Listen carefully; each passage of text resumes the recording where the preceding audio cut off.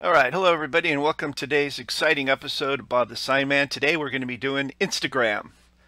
A lot of you might think, well, Instagram has nothing to do with traffic signs, and you are correct.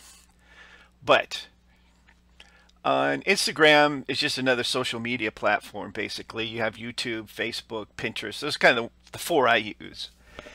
And I found out, um, you know, Instagram never was one of my favorite because you always had to use your phone and sometimes it's frustrating. You, you, know you're sitting at your computer and you go wow i got these pictures i took on my vacation or somebody emailed me this picture. You're checking some websites and you go oh that's a cool picture i want to post it on my instagram page.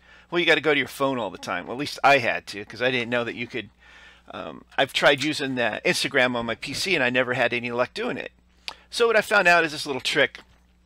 And i'll go to my instagram account. Before i go to instagram account um, if you like any of my videos and stuff, just look me up, Bob the Sign Man. Subscribe to my channel. Um, I'm also on Facebook, Bob the Sign Man. And I also have uh, Pinterest account, uh, Bob Storide, and I do have a little section, Bob the Sign Man, where I post a lot of my videos. And here's where I got to wanting to post a lot of the stuff on Instagram, but I could never get those pictures to Instagram till now. So what I do is there might be a app for your desktop to use Pinterest, but uh, I just found out I just type in instagram.com and then I bring it up and then I, I can drag the little icon, put a icon anyways. So I launch the Instagram app. I'm going to go ahead and log in. Log in. And there's my homepage. But it looks a little different on a PC than on your phone because on your phone you have little icons on the bottom here that you know you can add a picture or whatever. But if you search this website on your PC there's no way to add a picture. Till now till I found out a secret way of doing this. That's not really a secret. Everybody knows about it. Well most people I didn't. Anyways uh, this works on Google Chrome works on a PC as well as on a Mac. You can uh, what you do open up your Instagram account log in and then you're going to um, come up to these three little dots up here in the right hand, upper right hand corner, just below the X. Don't hit the X, that'll shut you out. So you want to open those up. Then you want to come down and you want to find more tools. And you want to scroll down and you want to click developer tools. So go ahead and do that.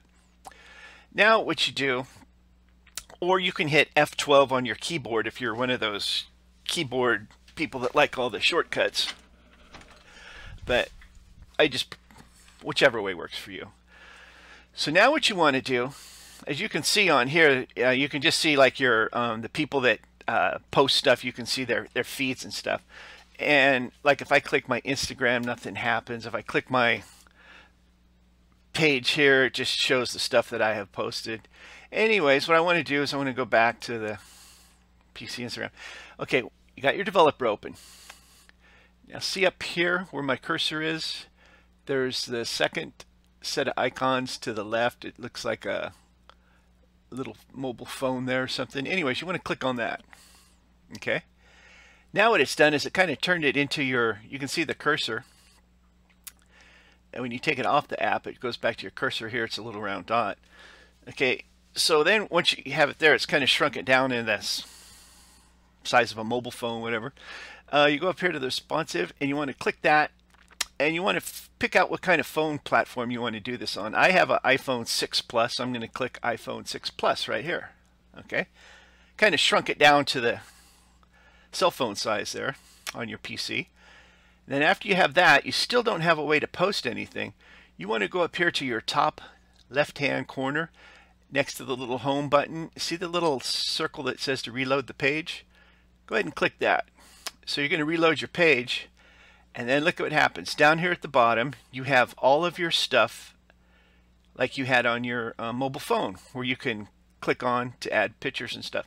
So if you want to um, just get rid of this little um, developer thing up here and it'll expand out your um, Instagram on your PC here. It'll make it a little bit pleasant to look at. I always have a hard time looking at the small stuff. Go ahead and click out that X. Now at the bottom of your screen, it gives you all your options that you had on your mobile phone now they're just a little bit bigger. So I can go to my home. I go to my um, I can click on my story or whatever. Anyways, so if I want to add new pictures to my Instagram account, in the middle there, there's a little plus. You just click the little plus, and now it brings up wherever you have your pictures stored on your um, on your drive. You can like say I have some uh, pictures and folders here. And here's my signs where I have all my traffic signs. Now if I want to post one of these to Instagram, I can do that. Like I'll double click this falling rock and just click next. And I want to share that. And there's the falling rock. It's on my um, site now.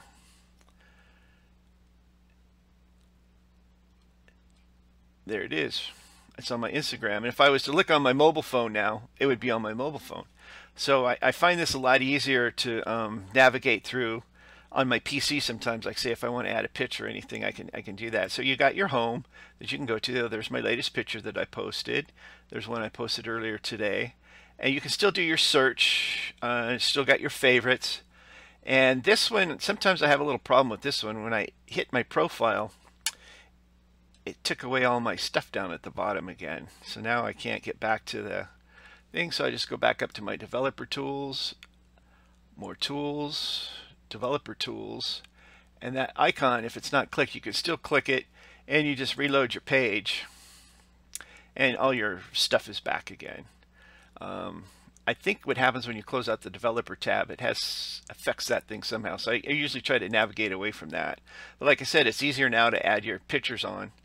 And I don't find it so frustrating now where I have to go from my take something from my PC, put it to my phone, then go to my phone, then go back to the computer, and it's like back and forth all the time. So anyways, I found this to be easier to use Instagram, and I'll probably try to start using it a little bit more. And um, I hope this helps anybody who's ever had that frustrating problem. I know I have, so I thought I'd just post this and let everybody know.